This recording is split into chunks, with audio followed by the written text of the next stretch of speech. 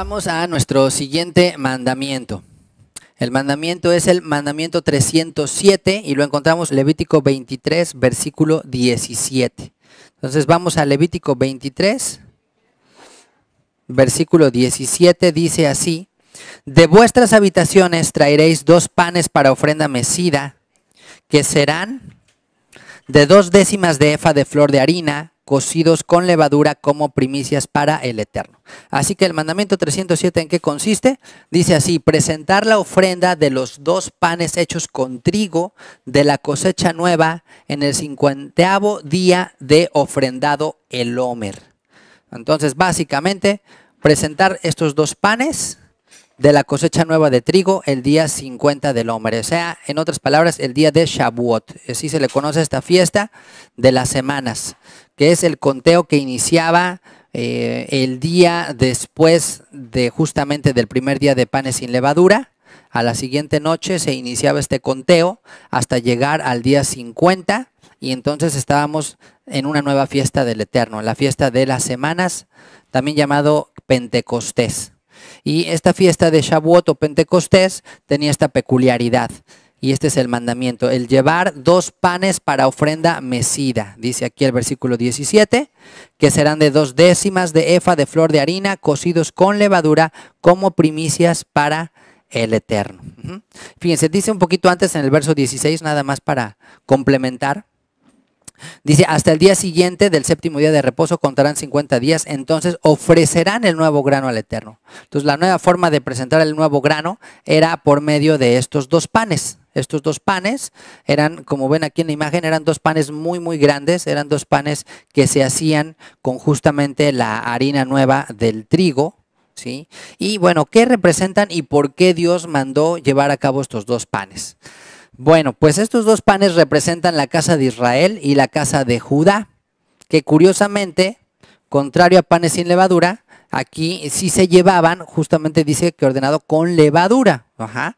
Entonces, bueno, vamos a ver un poquito más adelante por qué sería esto de la levadura. Pero otro punto importante de lo que nos dice aquí el mandamiento era que eran cocidos con levadura, pero como primicia. ¿Qué, significa primicia? Bikurim, como lo primero. Y no nada más lo primero en cuanto al orden, sino la idea de Bikurim es que es lo mejor.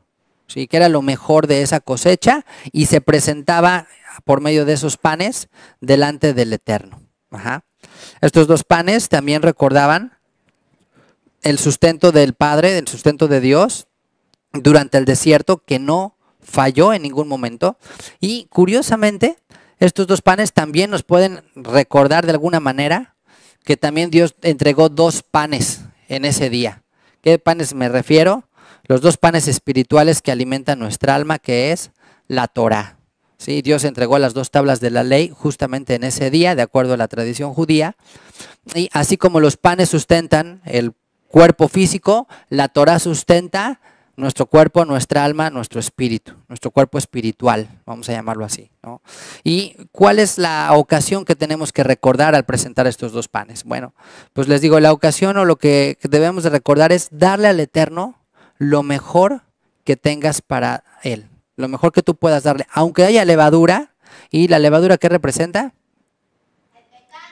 El pecado, el pecado. Entonces, estos panes llevaban levadura, o sea, Judá y Efraín, estos dos panes, se leudaron, cayeron en pecado. Pero aún así, dice el Eterno, tú ven delante de mí, tú preséntate delante de mí.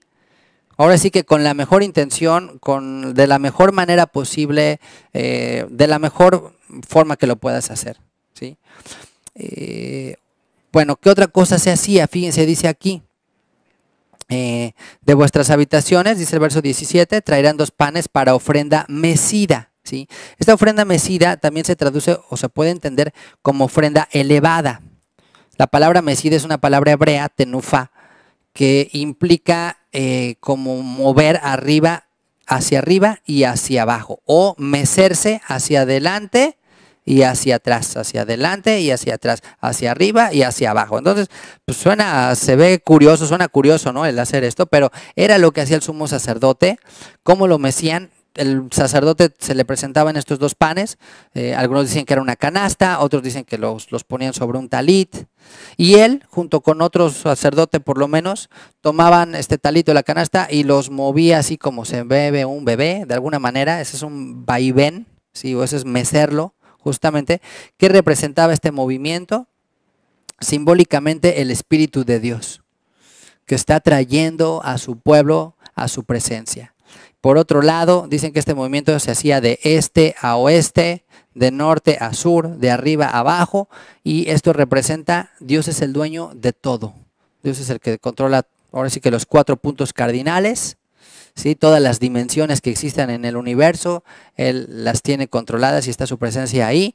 Todo eso le pertenece, todo eso es suyo, y el movimiento es un símbolo del espíritu.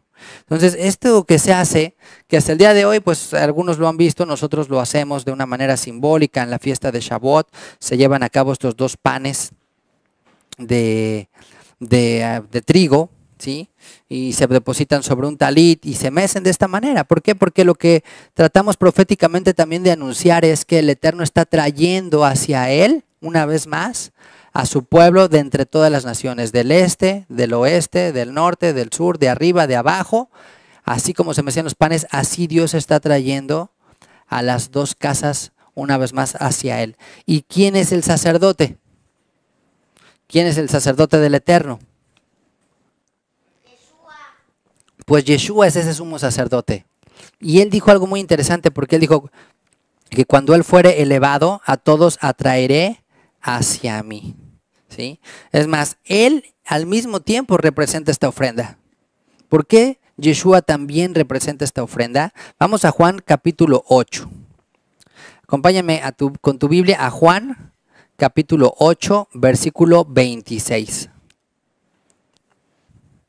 Ok, dice así, Juan 8, 26 está hablando Yeshua diciendo, muchas cosas tengo que decir y juzgar de ustedes, pero el que me envió es verdadero y yo lo que he oído de él, esto hablo al mundo. Pero no entendieron que les hablaba del Padre. Les dijo pues Yeshua, cuando hayáis levantado, que les decía esta palabra tenufá, que es elevada, dice, cuando hayáis levantado al Hijo del Hombre, conocerán que yo soy y que nada hago por mí mismo, sino que según me enseñó el Padre así hablo, porque el que me envió conmigo está y no me ha dejado solo el Padre, porque yo hago siempre lo que le agrada hablándole estas cosas, muchos creyeron en él. Entonces dice, cuando hayan levantado al Hijo del Hombre van a conocer que yo soy. Entonces Yeshua fue levantado como se levantaba estos panes, ¿sí? ¿Con qué propósito? Para atraer, a todos hacia él. Él es el que tomó el pecado de las dos casas, como estos panes con levadura, pero finalmente se presenta delante del Eterno a nombre nuestro. Pues es un mandamiento específico de la fiesta de Shavuot, es un mandamiento que nos invita a presentarnos cada fiesta de Shavuot como lo mejor de nosotros mismos delante del Eterno, como lo mejor de la gran cosecha del trigo. Y si tú tienes esa intención, si tú te presentas delante de Dios de esa manera, yo te puedo ahora sí que garantizar que también serás eh, levantado espiritualmente. Para algunos rabinos, esta expresión de ofrenda mesida, que también se traduce como ofrenda elevada, no era tanto que la elevara físicamente al sacerdote, sino la idea es que es una ofrenda con un sentido de elevación espiritual. O sea, era una ofrenda superior, porque durante el año se llevaban diversas ofrendas de flor, de harina y de algunos panes. Pero esta, al decir es una ofrenda elevada, una ofrenda mesida, significa que espiritualmente es una ofrenda distinta a todas. Y yo creo que en eso se cumple una vez más eh, la obra de Yeshua. Y también nos lleva a presentarnos nosotros como eso, como lo mejor que podamos y ser elevados espiritualmente y llenos del Espíritu de Dios. Si logramos eso, Créeme que cada fiesta de Shavuot, nuestra vida, tu vida va a cambiar radicalmente. Tu vida va a ser otra. Ahora, hoy en día se debe hacer esto, bueno, aunque yo creo que es un mandamiento que eh, era particularmente en los días del templo por el tema de ningún problema en hacerlo en casa o en hacerlo en una comunidad, recordando justamente eh, lo que acabo de explicar, lo que acabo de mencionar, el propósito del porqué de esta ofrenda. ¿sí? Y, y, el propósito también de recordar justamente que algún día el Mesías será el que sea ese sacerdote que se presentará para presentar o ahora sí que eh, llevar delante del Eterno toda ofrenda. Así que pues este es el mandamiento 307 de Levítico 23, 17.